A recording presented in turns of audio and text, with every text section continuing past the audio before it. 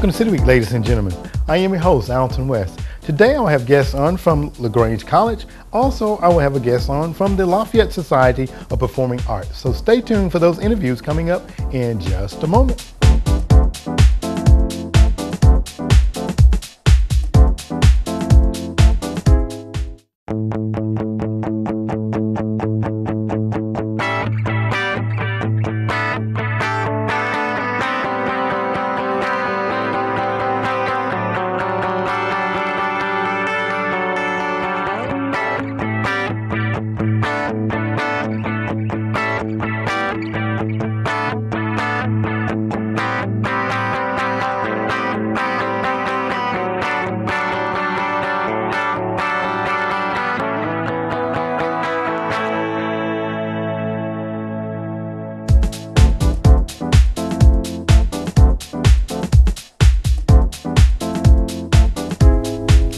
Welcome to City Week, ladies and gentlemen.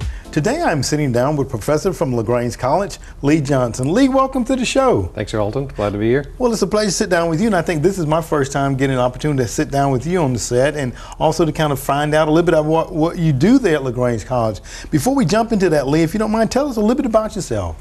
Well, I'm a composer, and I teach music at LaGrange College, of course. Been there since 89 and uh, had the opportunity to help restore the music major that had been, I guess, absent and silent to some extent for maybe 25 years before I uh, got started. And now we have quite a large program chaired by Tony Anderson, uh, and we have many faculty and new facilities. And I teach primarily composition and music technology, so I'm around uh, the, crea the creative types, the songwriters, the composers most of the time. Oh my, mm -hmm. very exciting then.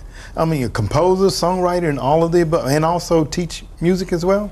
Uh, yes, and the, the, kind of students that I would have are of every every category of uh, creativity. We have uh, film composers, we've got sacred music composers or church music composers, we've got rappers, we've got rock and rollers, video game, uh, it's it's quite a diverse group. Yeah, it sounds like it. A, the whole gamut there, I guess, is it. And this is a, a new major that LaGrange College is offering. Uh, you say as an absence for 25 years. Is that correct? Well, the the new major that uh, I wanted to share with you today is now the, the next step beyond this composition degree, which started when I soon after I got to the college. Okay. Now we are uh, taking another bold step, I suppose. Maybe we're, we're, we're, kind of fearless, and you know, I guess that's maybe a good thing. but uh, it seemed like a, a, really wonderful extension to consider video. Uh, President McAlexander had been throwing the idea around in conversation for a few years, and it started to pop up more and more often. So the conversation started with him and with the administration to see should we look into video as a possible program or department. And conversation went well okay. because most people are interested in video. Sounds like a good fit. Seems uh -huh. like it uh, almost seems like well, have, why weren't you doing that before? But we didn't have a facility, and uh, and when Westside uh, Magnet School or Westside Middle School came along uh -huh. as an option for the college, a bunch of excitement started to bubble up. That I wonder what's going to happen when that new facility comes online. Well, it, in timing with that, the conversation turned to the, now a real possibility that we could consider uh, film and video. So now we're offering for the, and recruiting a freshman class for 2017 for the brand new uh, Bachelor of Arts degree in Digital oh. Creative Media and Film. Oh my! So we are, or we made it. Oh my, that's that is very exciting. And you're looking for your first freshman class. Mm -hmm. And I'm going to jump into talking a little bit about where you guys are located. But when you talk about film and video, why is it so important now that people be able to to do their own as opposed to maybe working for somebody else? Well, uh, our, you know, the covering of life or understanding life through a lens has exploded.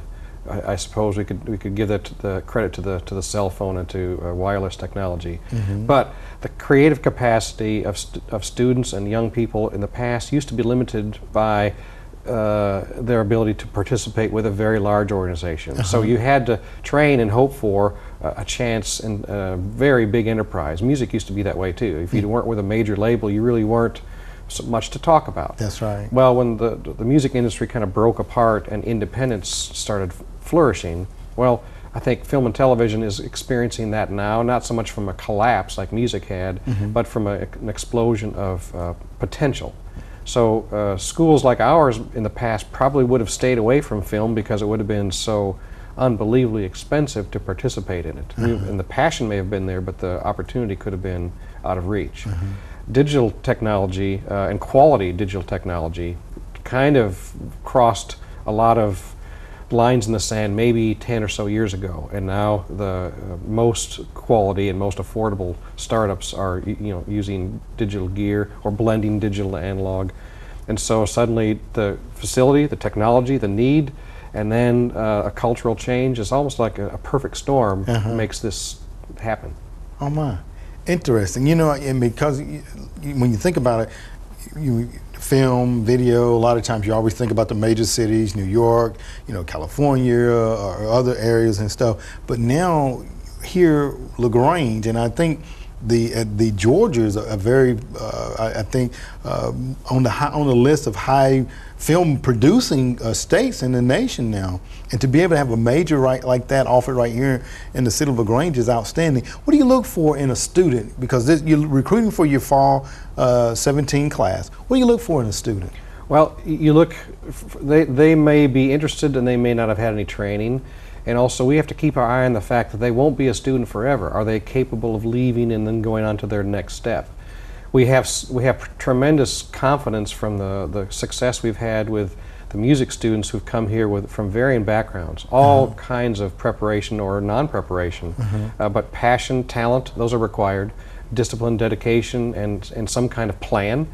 Uh, but the students who've left here have gone off to the cities you mentioned and gone to graduate school or stayed as professionals or in Hollywood now composing for TV shows or different series. And so it doesn't, it's suddenly not so important where you start, but how you, how the process works. And so the kind of student we look for in uh, digital creative media and film, passion, talent, drive, what story they tell on day one, because you ask them, so, nice to meet you, what would you like to do? What do you want to be? And, and they start to articulate their vision and most always there are some common things and then there's some things that just set that person apart from everybody else. I think one of the most sustaining successes we've had is that we identified early on that every student is not just different, which we would of course, duh, yeah, but but every student is different enough to maybe need a different approach to their education. So no formula, no cookie cutter, no here's how we do it statement works. Uh-huh. Other than maybe here's how we do it. We start with you, and we start with how you can find what you said your plan was. And currently, the, the, the staff I work with, Paul Hammock, I've worked with for the longest, Okay. uh, and he's our technical director and now our chief uh, audio engineer. We have a, a magnificent recording studio at the college now too. We are able to uh, fashion a program and adapt to the students' uh, uh, strengths and weaknesses, and then get them toward their goal. So this new degree is almost like, if you're interested, that's enough. Because well, I wouldn't expect you to have a background in video if you come from uh, a normal high school. They That's probably right. didn't have that program either. Maybe you did it independently, but you can't really have an education background or an educated background in that field. Uh, so it, I think it's kind of a walk-on. Uh, Okay. Now we to get into the college, you apply, you have Right, right. SAT scores. It's, it's a complicated process and a wonderful process.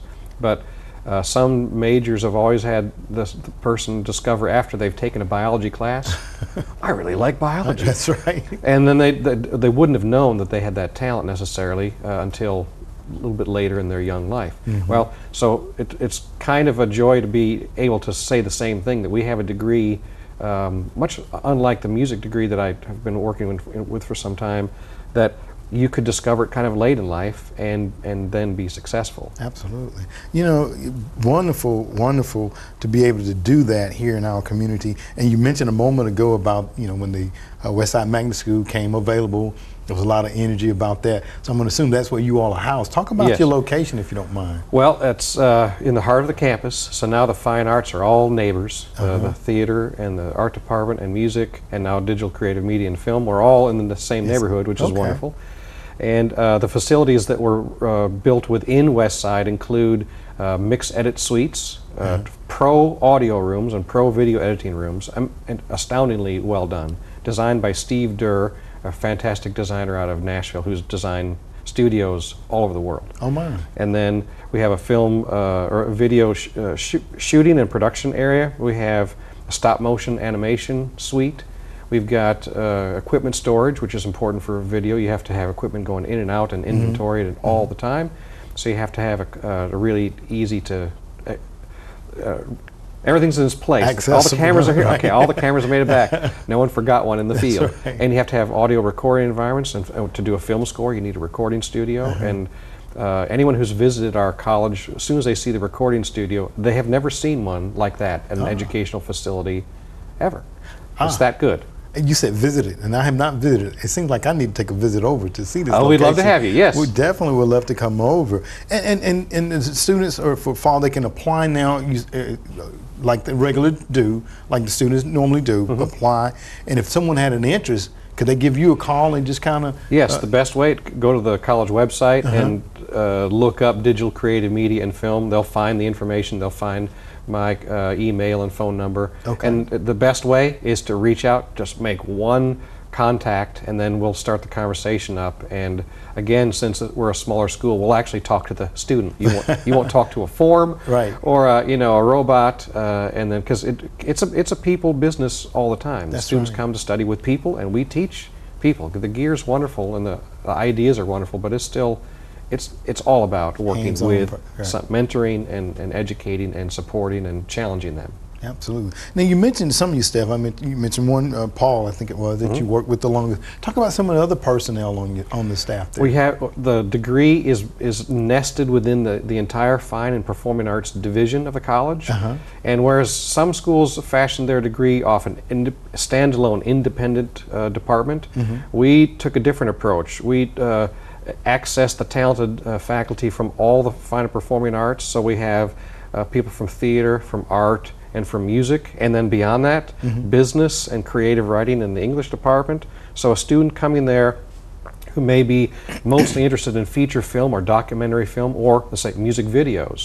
They could be a specialist and get mentoring support from that specialty because there's enough elective choices for classes to say, you know what, I don't want to be that kind of filmmaker, I want to be this kind. And they could be distinctive even, even as undergraduates. Okay. Which means that there's a lot more people across the campus that are willing and ready to invest in the success of that student. If it's primarily a script writer, well, that person can write the fantastic story, but then needs someone else to produce it. Mm-hmm. But the way we team build, the, the, the junior and senior projects are built by the students co-producing. So you might be in charge on your film, but you might be in a supportive role for your peers' film because most of us get hired at some point, right?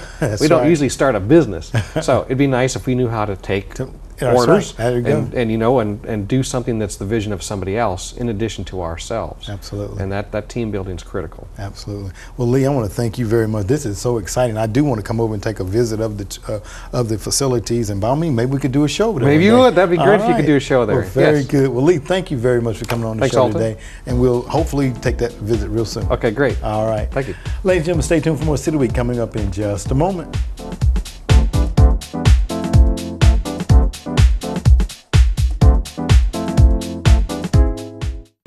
A fierce, competitive spirit inhabits the DNA of students here at LaGrange College.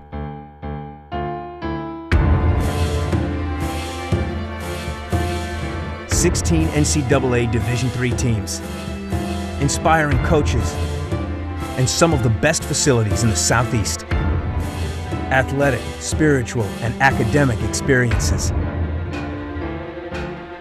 Discover more at lagrange.edu/transform. Nobody wants to be stopped by a law enforcement officer. Everyone wants to feel safe. So we've trained our officers to first listen and then explain. We ask if you have contact with one of our officers. You listen, give him an opportunity to explain, comply with his requests, and if there's a problem, contact us so that we can investigate your complaint. Listen, explain, comply, then complain. Our safety and yours matters.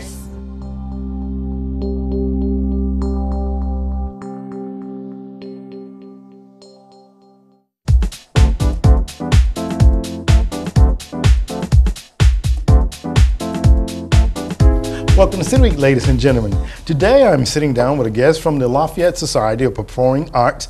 Um, Austin Tidwell. Austin, welcome to the show. Oh, thank you very much, my friend. Well, Austin, right out the bat, I, I just got to go ahead and compliment you on your voice. You know, as we were off stage there, and I was like, who's the guy with all that voice? Is that, that's your guest? I'm like, oh my God, I get an opportunity to talk with him, huh? Just thank you very much, my that- friend. Well, thank you for being here today. And Austin, you you are a part of the cast of one of the plays that's going to be presented at the LSPA uh, coming up here in October. We'll talk a little bit more about those dates in just a moment. But before we get started, tell us a little bit about yourself, if you don't mind. Uh, no, I don't mind at all. Um, I am a Southern man. If you get me started talking, I'm likely to never stop. So I hope you brought a sandwich. okay. um, um, originally from Newnan, uh, born and raised there. Uh, started acting in Newnan at the community theater, and um, upon getting out of high school um, and looking around, uh, in my opinion, uh, LaGrange College had the best theater arts department in the state. Uh, I fell in love with the facilities and the staff, uh, and came here, studied theater, got my degree. Um, from there, I, I went to New York, spent uh, 10 years there, and then upon leaving New York, ended up in LA, spent five years there, uh, met my exceedingly beautiful wife, and once we, uh, you know, got married and had our son, we left Los Angeles. Okay. Because uh, LA is a great place, but it didn't want to raise my boy there. Okay, I can understand. I've been to California. Like you say, it is pretty busy and, and, and expensive. Exactly. Absolutely. so both of those can get, gravitate you elsewhere quickly, right? Definitely. Absolutely. Well, we're very happy that you're here in our community. I just want to go back and talk about you. You said when you, upon leaving high school, you landed at LaGrange College. Talk about your experience there at LaGrange College, if you don't mind, for a little Oh, no, gladly.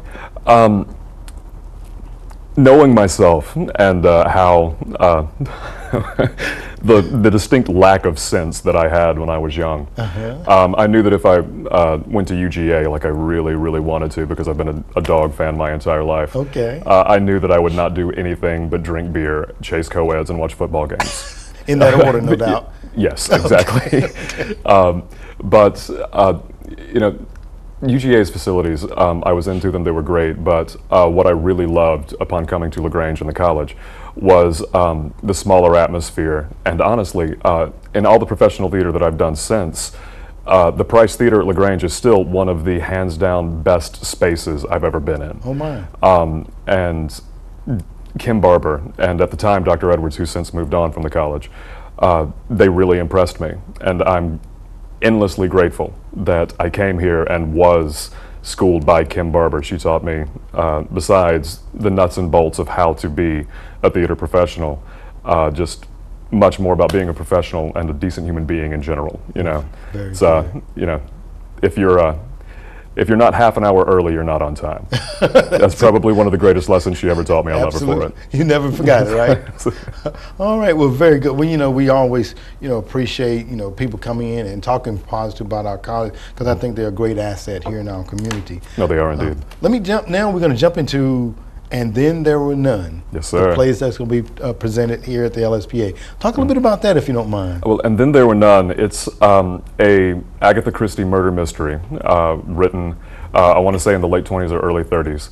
Um, it's it, it's very impressive to me how uh, the suspense of the story stands up over time, because um, like a lot of things from the period are undeniably from the period, you know, and have a little bit of that, you know, 1920s and 1930s kind of flair to it. You always, it's, it's almost like there's a definite style to it that, in a lot of ways, doesn't translate like the majority of the work from the time. Okay. But uh, this piece does. The um, the suspense is real. Um, the danger the characters are in are real. I think it's a great Halloween show uh, for the company.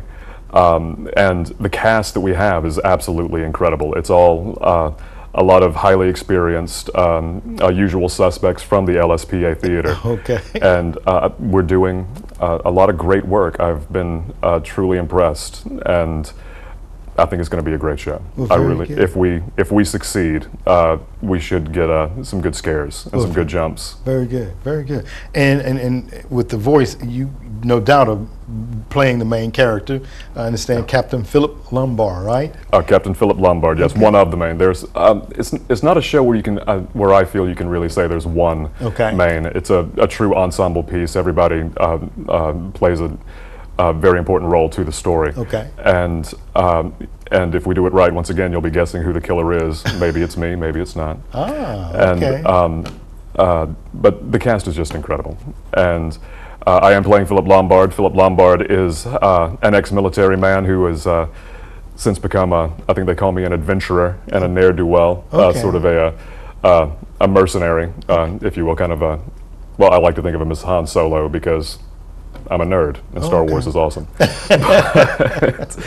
um, and yeah, it's very interesting. There's a, uh, in the show, there's a real mix of um, personalities, uh, like you know, an adventuring uh, mercenary uh, that I'm playing, Uh-huh. uh, and which is very nice because I just get to not shave and be scruffy. It's amazing. And um, everything from that to um, a, uh, a judge, um, to uh, there's a policeman, there's uh, a few society people, there's a doctor, and but they're all distinctly different and have distinct uh, personalities, and the way they react to the situation and the danger is, I think, it's a lot of fun. It's a real mix and keeps everything suspenseful. Well, very good. You know, and, and we- before we came on air, I, I think you kind of broke into character there a little bit and gave me a little bit A of, little the, bit, of the little Brit- British accent. you think we could get just a little sampling of that? So, uh, well, certainly. It's um, uh, it's very funny because, of course, uh, uh, the show is British, Uh-huh. and um, in doing the accents, it's it's always fun because. As Southerners, uh, we tend to be a little bit more laid back with a lot of the aspects of the language. Our vowels are lazy, our consonants are extremely lazy, and sometimes don't exist at all. and um, uh, but in order to uh, strive towards a British accent, you really have to kind of move everything to the front of the mouth, uh, be extremely conscious of the consonants. It's um, and believe me, my British accent is not ready for prime time at all.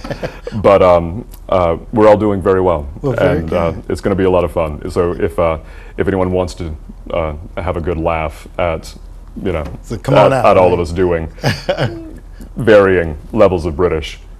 It's an amusing It's time. the I show to come and watch. Okay. Let's talk. let's talk a little bit about when it's actually going to be taking place, because I know that you know people are probably want you know around the Halloween time, people want to get out and see something and do something different. Mm-hmm. Talk about. I think it's going to be the opening show is going to be October the twentieth. I, Yes, I sir. understand. Talk about the uh, dates and, and the times, if you don't mind. Oh, not at all. Um, excuse me. Well, the style of uh, uh, theater that we do there, it's kind of an interesting thing. Um, there's not traditional theater seating. Uh, we actually set up um, uh, a big group of uh, tables with circular seating around each. Okay. And it's uh, a picnic style. Um, guests are uh, encouraged and allowed to bring in uh, any sort of uh, food, drink uh, that they uh, want, anything from home. Just bring it in. their tables, you know, set up and uh, just make a, a meal of it and hang out and have a good time. And um, so uh, I would say show up around seven-ish. Okay. I suddenly, re- I'm sorry, my, it's very funny. My mind just completely went went. I blank, just, I just completely forgot the curtain time. But um, October 20th, uh, the 21st and the 22nd will be evening shows. Okay. Um, on Sunday the 23rd, there will be an afternoon matinee. And then the following week, on uh, that Thursday, Friday, Saturday, we'll have uh, some more evening shows. Okay. Um, because my memory is sometimes extremely suspect, I apologize for that. But any details that I cannot give, uh, don't let my shortcomings deter you. Uh, please visit the the LSPA's website. website. Okay, exactly. Uh, it is lsparts.org. Okay, very good, very good. And you know, and, and, and I know that I've been down, and you know, Amy has been here on the show. And I want to leave out him Jennifer. I've been down and spoken with her, and actually, we did a show down at the LSPA. And I understand that it, there's some changes that have come about down in in. Oh, yes, sir. And I think you probably kind of had firsthand in that as well. Oh yes, yes. Um, one of the fun things about theater, one of the reasons I love it, is that um, you have to know, uh, well, to do it well, you really need to know how to do a little bit of everything. and um, I've done a lot of technical work as well, so I've learned how to be um, a rather good carpenter. So uh, I had a hand in some of the renovations. Um, but they did an abatement uh, since uh, you know the building, Mhm. uh, the age of it. There was some asbestos in there, so they abated and got everything out, and everything is up to present day code and beautiful. Mhm. Um, and um, new paint jobs, uh, everything looks nice, fresh. And the thing that I'm most impressed by personally is all the new dance floors uh, that are in the space. Every dance studio in there has received a brand new dance floor, which is actually much more involved than it sounds. There's, there is some precision geometry that goes in to the creation of these dance floors to give them that supple bounce. Okay. Um, there are multiple layers and very uh, in depth, but I'm impressed by all the work that's been done and it's beautiful down there. Well, very good. And you know, you're talking about dance floors, and, and a lot of time when you uh, say the word Lafayette Performing, uh, Lafayette Society of Performing Arts, we also thinking about just a place, but you all branch out and do much more than that. Talk a bit about some of the other uh, disciplines that you offer. Oh, certainly. Well, the LSPA um, pretty much uh, offers educational opportunities um, for uh, really all three main branches of the arts. You know, uh, dance, theater, uh, and music. Mhm. And uh, of course, I'm you know personally most heavily involved with uh, the theater aspect, and uh, I've built a couple of sets uh, with the guys down there. Uh, this is the first time I've um, acted with them since coming back, and uh, they've really, really improved. Uh, the theater is under the direction of an old college friend of mine, Ryan McCorder, as the artistic director, and I, I know his skill level and I know his dedication to theater, and I, I would have no worries about the theater, and I would. Um, anyone interested in acting, go check that out because uh, they are under uh, very capable leadership there. Uh, um, I can't speak specifically to um, the uh, workings of the music department, but quite often uh, when I show up for rehearsal, I hear their young singers, Okay, uh, yeah, the young singers of West Georgia practicing from their room, and they sound brilliant. Uh-huh. S- And um, and of course, there's also the massive uh, and beautiful uh, Lagrange Ballet and Right. all of their uh, dance side. So um, I know that they, uh, as an organization, offer uh, you know classes uh, and performance opportunities in all three disciplines. Okay. So anyone interested, check out the LSPA. They are a quality institution. Absolutely. Well, Austin, you know, it's a it's, it's an honor to sit down with you. It's a more so a pleasure to have you in our community and, and getting involved in the arts and hands-on because I know that sometimes, you know, our school system not knocking them. They have their hands full and can't fill those those voids. So we're very Totally. fortunate to have the LSPA here to kind of fill those voids in our community. And I'm going to thank you very much for being on the show today, and it's been a pleasure sitting down with you. Uh, same here, my friend. Thank All you very much. Okay, thank you very much. Cheers. All right, ladies and gentlemen, stay tuned for more City Weekend just a moment.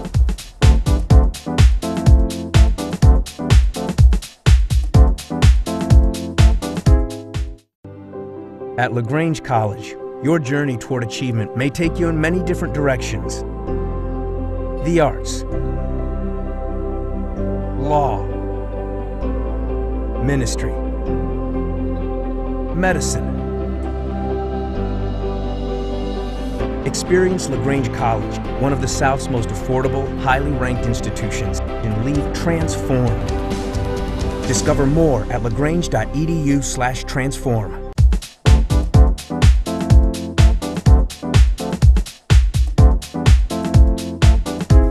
Ladies and gentlemen, thank you for joining City Week this week. My guests have been from LaGrange College, Lee Johnson, as he talked about the film and video production courses that they are now offering over at the West Side School. So by all means, if you're interested, give him a call or go by the school and get more information. Also my guest, ladies and gentlemen, from the Lafayette Society of Performing Arts, Austin Tidwell, as he talked about the upcoming play and then there were none. That will be opening on October the 22nd and playing throughout the end of the month. So by all means, if you like more information, visit their website and by all means, go out and patronize those acts that are taking place. Ladies and gentlemen, I hope that you've enjoyed these interviews. And as always, I want to invite you back for more of City Week.